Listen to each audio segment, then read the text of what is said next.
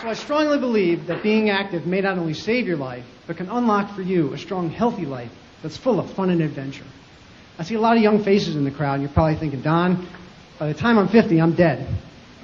Let me share with you some of, some of the lessons that I learned in interviewing 50 athletes over 50 who are living spectacularly. Then there's Terry Peterson, who at 49 years old, kind of like me, starting to get a little bit out of shape, getting a little punch. What did he do? Took up mountain unicycling of all things.